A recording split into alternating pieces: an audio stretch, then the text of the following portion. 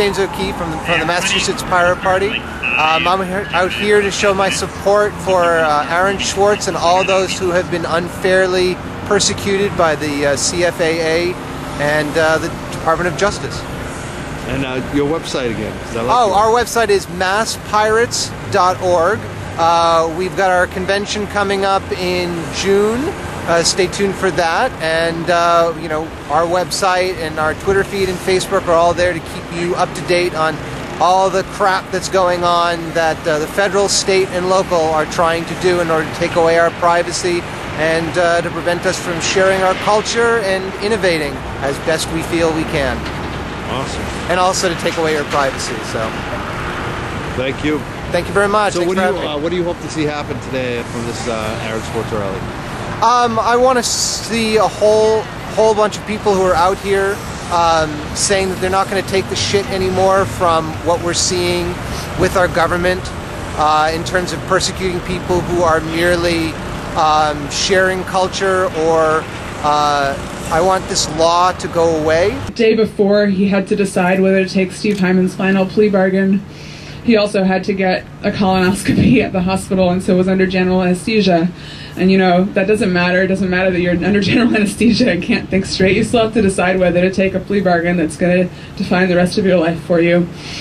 Um, I was in that courthouse with him, the courthouse that we're going to march to. Today I was in it in December. It was a key hearing um, that was going to decide, help s- start the process of deciding which evidence would be admitted in trial against Aaron. And I stood there with him as we came out of the courthouse, and I tried to give him a hug. And he said no. Uh, he pushed me away. It was the only time I can ever remember him refusing affection from me. And it was because Steve Heymann was standing there, and he said, I don't want to show that to Steve Heymann. I don't want to be vulnerable in front of Steve Heymann. And I was also there a minute later when Steve Heymann came over and handed a manila envelope to Aaron's lawyer and said, Hey, I thought you might want to see this. And it turned out that in that manila envelope was exculpatory evidence that Heymann should have turned over a year ago, a year before that, and then has since lied to um, Congress about and to the Department of Justice about when he turned it over. Um, he waited until after it was clear the evidence was going to be discovered anyway. And that kind of thing happens all the time. Like all of these things happen all of the time. And very few people ever find out about the exculpatory evidence that's hidden from them. When you take a plea bargain, you give up the right to see the evidence against you. You give up the right to appeal. Right? We have a system that's designed. We think we think we live in a system that's like what you see on Law and Order, where you have constitutional rights and you have lawyers who fight for your constitutional rights, and then you go to a jury, jury before your peers, and that happens to almost no one. The vast majority of people in our system need public defendants because they can't afford lawyers. Public defendants get half the resources of prosecutors.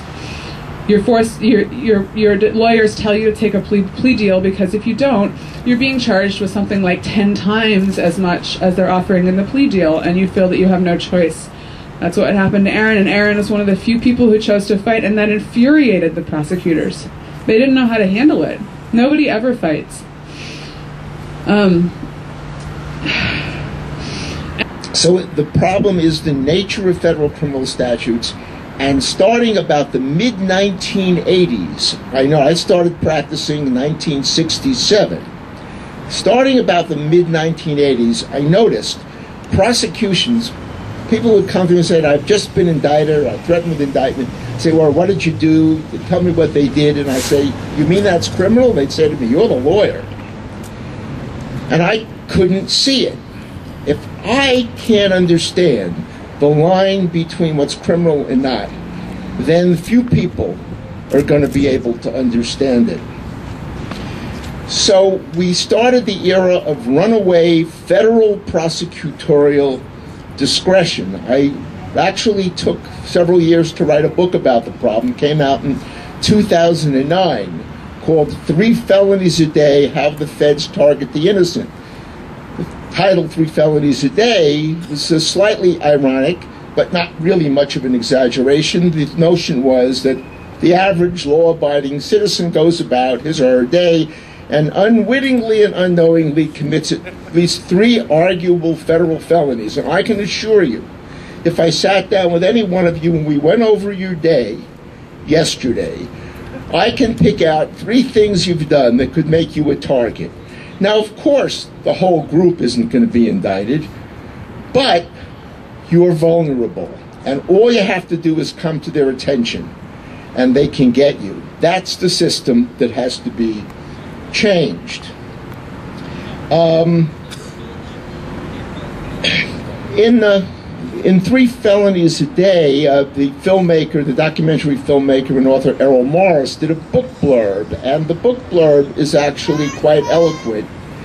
He uh, begged society generally, and readers of my book in particular, to pay attention. He said it was urgent. Pay attention. Well, of course, few people paid attention, and now we have Aaron's tragedy. Finally, I sense people are beginning to pay attention.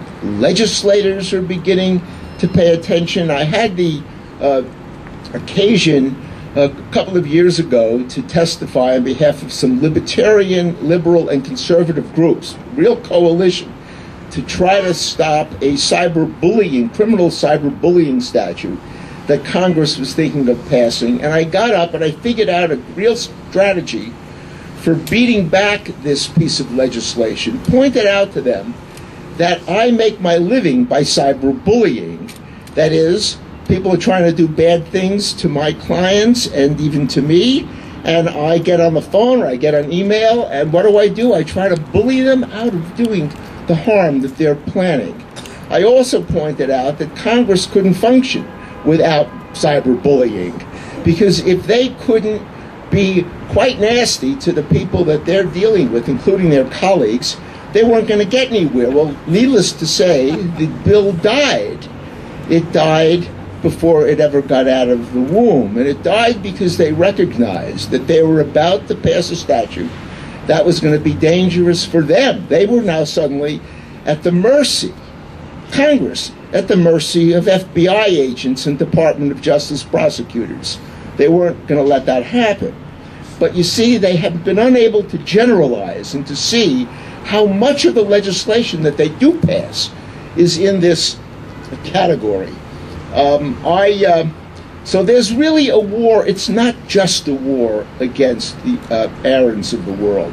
It's a war against accountants, scientists, people who manufacture pharmaceuticals, artists, uh, politicians, state and local police, newspaper reporters, lawyers, students. I've got chapters in my book on all of these groups that have been harassed by federal prosecutors.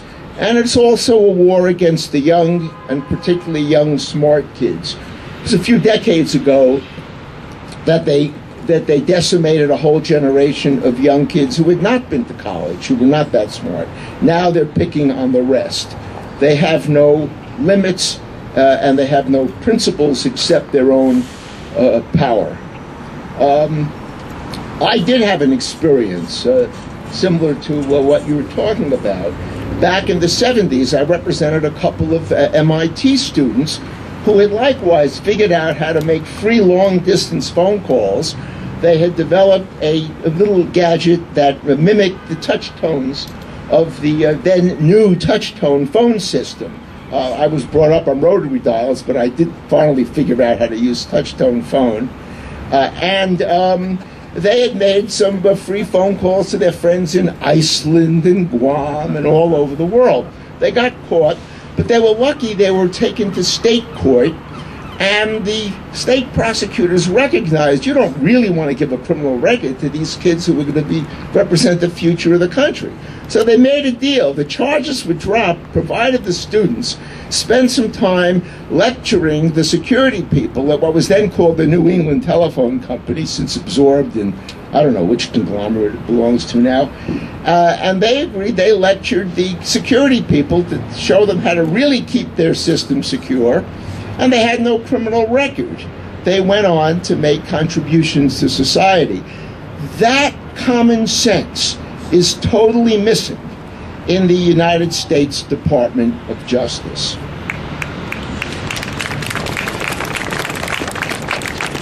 Then the feds took over. And that's where we are now, and it's why we're in such trouble. It was Harry Lewis at Harvard, a former dean of the college and now a professor of computer science over there. He actually, on his well, you should read his website. His website lists some of the students of his who, had they been around students today, probably would be in prison rather than uh, major contributors to the progress of our society. Steve Jobs, uh, Steve Wozniak, Bill Gates, Mark Zuckerberg, already mentioned here. Aaron Swartz, I have I have studied the case. Uh, I can tell you that he committed no crime, in my view, and it's a my view is a fairly sophisticated one legally. You can trust me on that. He committed no crime. I actually think he would have won his case, uh, but his life was ruined and ended by a, an unjust, uh, very ill considered prosecution, totally abusive. Carmen Ortiz is not the first U.S. attorney to do this. She's not the last. She just happened to be around when their strategy ended in a disaster. But in order to not have more Carmen Ortizes in the future and Steve Heymanns in the future, we've got to make major changes. And it can't only be in the cyber law area. It has to be across the board in federal criminal uh, statutes.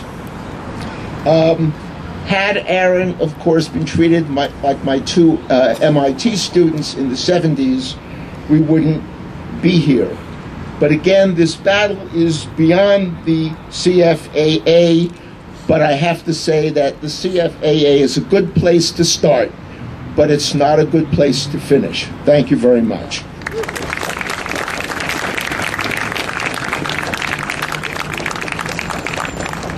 Their view in this space at least is nothing like what a normal human and and we don't just you know we we select these prosecutors in our system.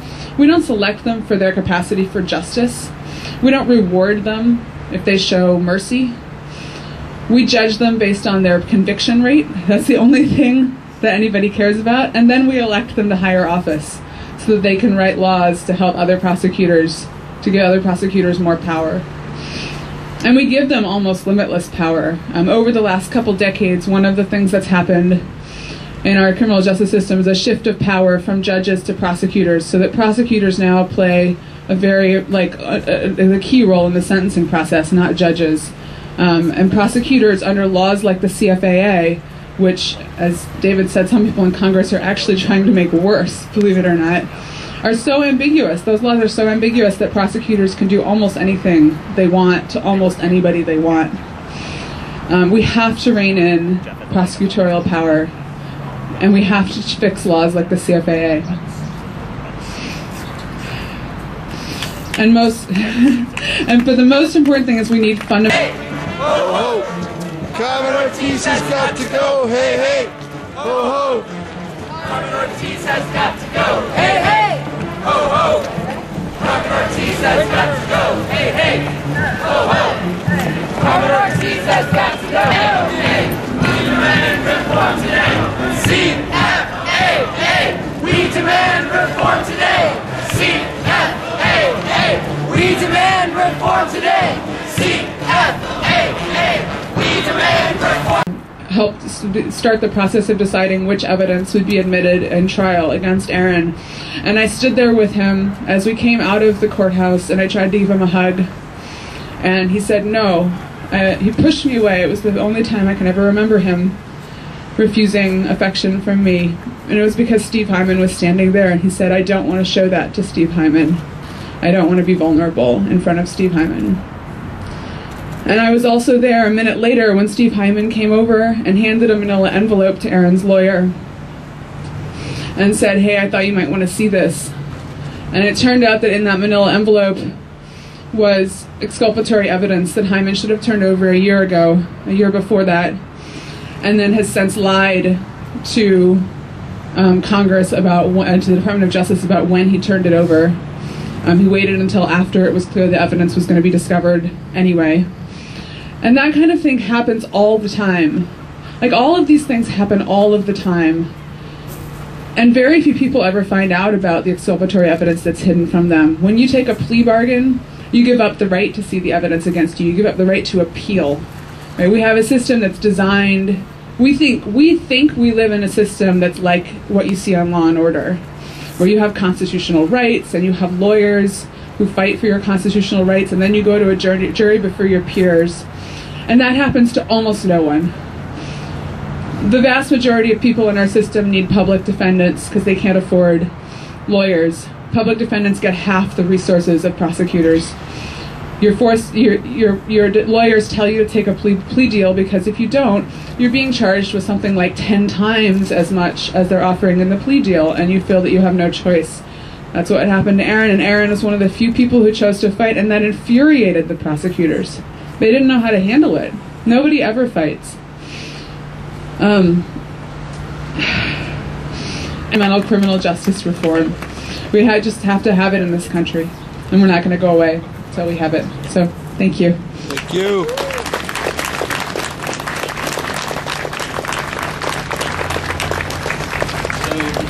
Yeah, hi. My name is Brett Rhyne, and I'm running as a write-in candidate for U.S. Senate, Democratic nomination for U.S. Senate for Massachusetts. Um, I think this is a great event today here.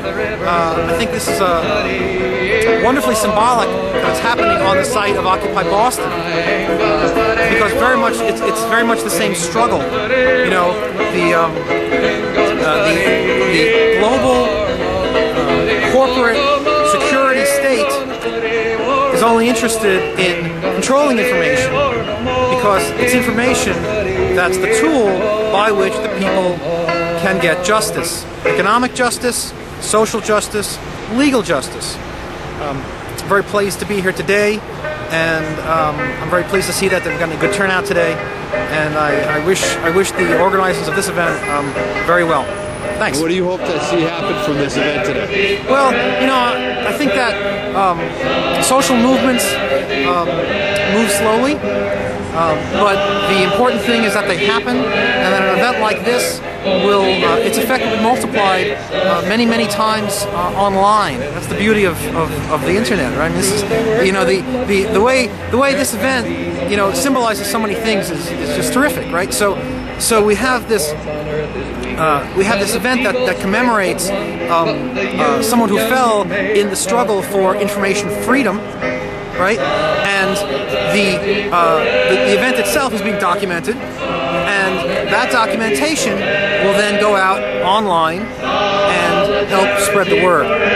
So I think that you know it's important to have these these physical events because they're the seeds by which the movement grows. Awesome. Thank you so much. Thank you. Let me get your. Uh, My homemade, uh, my homemade tech.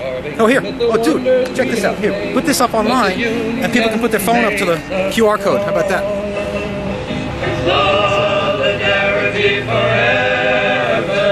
Awesome. why did you decide to come down today? Uh, well, I've been heavily involved in the Op Angel um, movement here in Boston. We're at the courthouse every other week actually protesting Carmen Ortiz. Outside the courthouse? Did you go to her house too, her neighborhood? Uh, I know No some comment? adults might have uh, been involved in that, but uh, I can't really say whether or not that was me, but I, uh, I'm well aware of, uh, of all that, those shenanigans, and you know, we're keeping the pressure on her, and we're making sure that she knows that Boston isn't happy, Massachusetts isn't happy with, you know, the work that she's doing, so trying to get her fired and trying to get the CFAA reformed, and came out here to show support for that. Awesome. Yeah. So, what do you you want to see the uh, the reform? That's why you're here today. Yep. Awesome. Thank you.